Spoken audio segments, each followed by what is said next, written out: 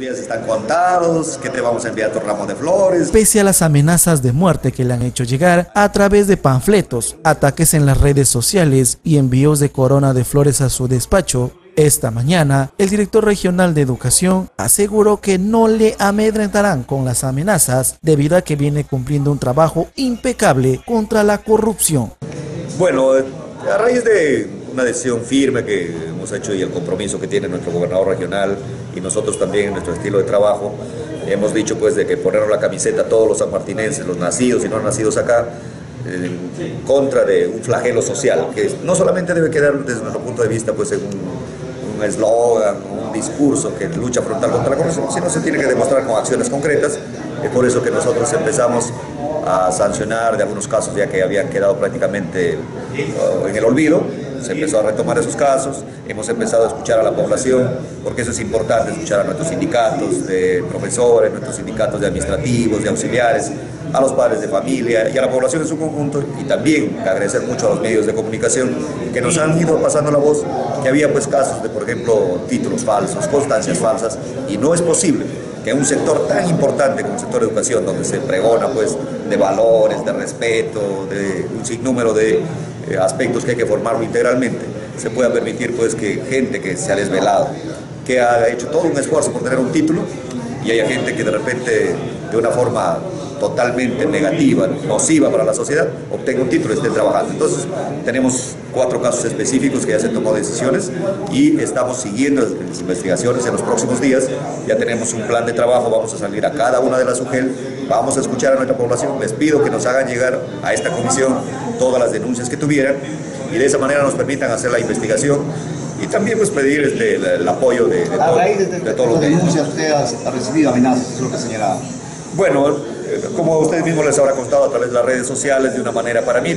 también que nos impulsa a entender de que falta más educación, porque esa situación de esconderse tras de un troll, de sacar firmas falsas, de enviar panfletos para dañar la dignidad, la, la buena, llamemos, reputación que tiene una persona, al margen de nuestros errores que podamos tener como seres humanos, pero meterse con la familia, meterse a amenazar a las personas, creo que es no tener argumentos,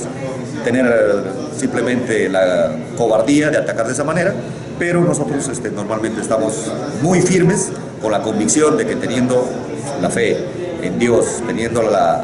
la verdad por delante, Asimismo, Orlando Vargas aseguró que la desesperación de algunos grupos de delincuentes incluso vienen sacando denuncias falsas en su contra. La clásica de los cobardes, ¿no? Que tus días están contados, que te vamos a enviar tu ramo de flores, como han enviado un ramo de flores, eh, ahí he visto, han enviado también una, una denuncia de supuestas este, eh, sentencias que tuviera de años pasados, no sé de dónde habrán sacado,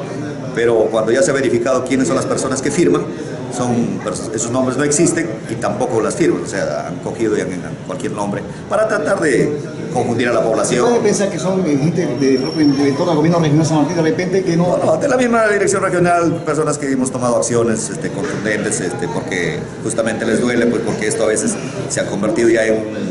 en una manía, una mala forma de trabajar y, y, al ver que estamos contra sus intereses de ley que les incomodamos, pero eso a nosotros no nos va a intimidar, al contrario, vamos a poner más mano dura,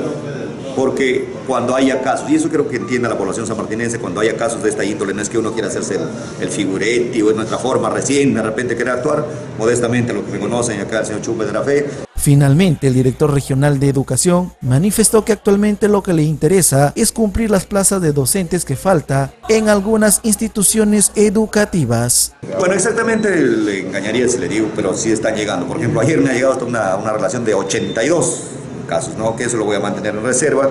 hasta que tengamos las situaciones concretas, porque no sería ético adelantar juicios, adelantar nombres, porque la dignidad de las personas también no tiene precio. Cuando haya situaciones concretas como las que ha habido, me llegaron denuncias, por ejemplo, que había títulos falsos,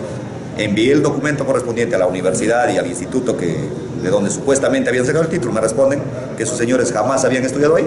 Lo que nos corresponde es, por, de oficio, declarar, porque la norma indica al detectarse un documento falso, de oficio se declara nulo el contrato, sin eh, quedar exigo pues, de las responsabilidades administrativas y penales, como también le hemos pasado ayer a la Fiscalía. ¿Usted denunció ya casos claro, de amenazas? si no sería omisión también por parte nuestra, eso también debe entenderse. ¿Considera que hay algunos intereses políticos de repente para que ruede su cabeza? Bueno, naturalmente es, estos cargos son técnicos y políticos, ¿no? eso es normal, nosotros tenemos que estar preparados en la parte técnica, política, cognitiva, y justamente un funcionario está ya, ¿no? Pues a críticas, amenazas, no le vamos a agradar a todos, y peor pues a los corruptos que piensan que va a entrar alguien y va a ser con, estas amenazas, al siguiente día vamos a estar de repente corriendo y para que sigan haciendo su festín. Y eso